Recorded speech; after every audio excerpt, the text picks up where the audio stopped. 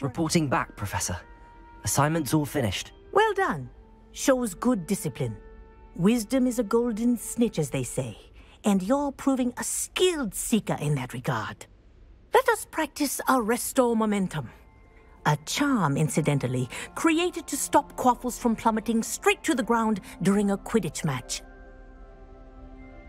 Precise, deliberate movements.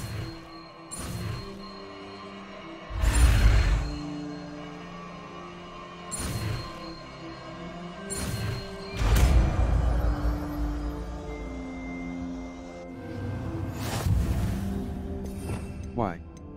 Assign top. Arresto momentum slows the motion of enemies and objects. The larger the target, the less effect the Very good. Arresto momentum. That's it. Keep it up.